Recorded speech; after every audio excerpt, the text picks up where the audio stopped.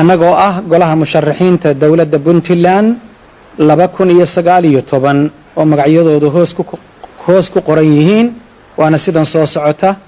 Doctor aadan maxamed ciise gaadhaale injineer cabdirasaaq cabdulaahi jaamac janno gale khaliif ciise mudan injineer maxamed cabdulaahi xuseen shoortaaye cali xaaji warsame maxamed siciid morgan cabdisamed maxamed gallan genaraal axmed jaamac shaale mudane maxamuud cabdi maxamed genaraal saciid maxamed xirsi siciid dheere xuseen axmed xasan fiqi siciid cali doctor maxamed salaad qoryooley doctor saadiq enow xaaji maxamed yaasiin iyo cabdiweli cabdiraxmaan gayre markaan aragnay liiska xubnaha guddiga ansixinta iyo xalinta khilaafaadka uu soo saaray madaxweyne cabdiweli gaas. Waxaa noo muuqata in madaxweynaha wakhtigiisii gabaabsiga yahay uu ku tallaabsanayo arrimo burbur ku ah dowladnimada iyo wadajirka reer puntland taasoo ah inuu magacaabay wuxuu ku tilmaamay guddiga ansixinta iyo xalinta khilaafaadka haddaba sidaannu horeba uga dignay guddigaasi wuxuu u muuqdaa in uu yahay mid u shaqaynaya oo keliya madaxweynaha. Asbaabta soo socota awgeed waa markii ugu horraysay oo taariikhda puntland madaxweyne iyo madaxweyne ku-xigeen ay soo kala saaraan laba liis oo iska soo horjeeda sababtuna tahay in madaxweynuhu taladii dalka keligii maroqsaday.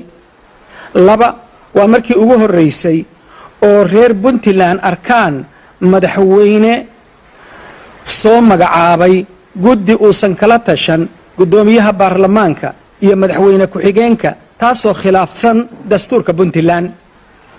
Namber saddex wuxuu magacaabay guddi aan dhexdhexaad loo arag oo isugu jira maamulkiisa khaaska ah sida guddoomiye ku-xigeen gobol iyo agaasimo guud laba qaraabo iyo xidid.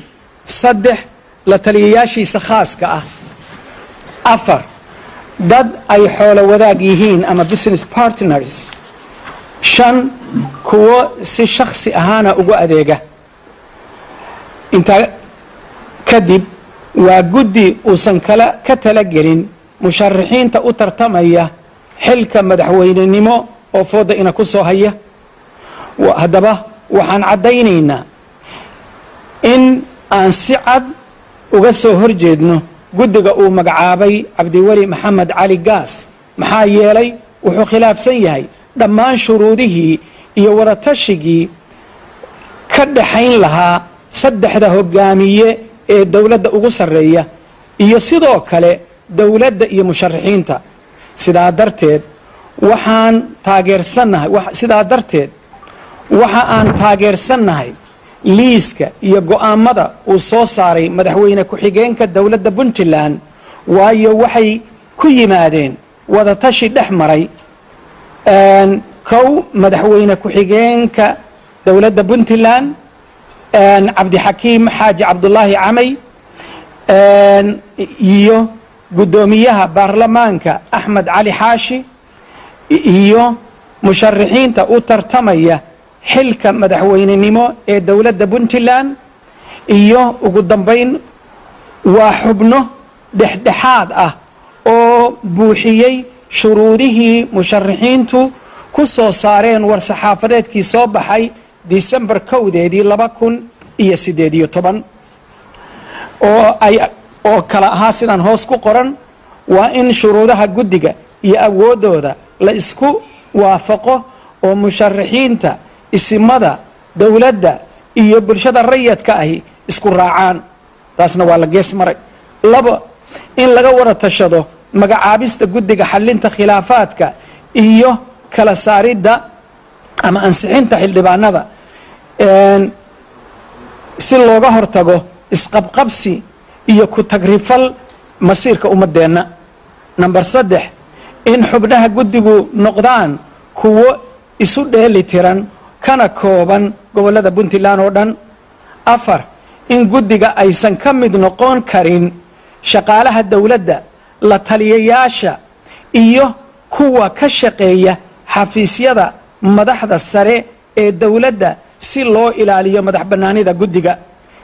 Iyo ugu dambayn number five in xubnaha guddiga aysan ka mid noqon karin qof ku cad ama u ololeeya musharax gaara. Waxaa kaloo ka mid ahayd iyaduna in aysan ka mid noqon karin qof maxkamadii dembi ku xukuntay.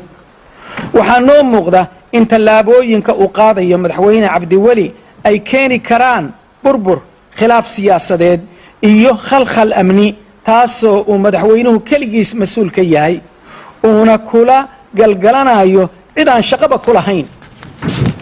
Intaasi waa war-saxaafadeedkii aanu maantay ku talagalay aad iyo aad baad u mahadsantihiin. Dadweynaha reer puntland iyo intana dhegaysanaysa ama na daawanaysa waxaan leenahay waxaan idiin rajaynaynaa guul iyo doorasho wanaagsan iyo inaan raacno dariiqa aan isku wada ognahay oo dalku ku guulaysanayo.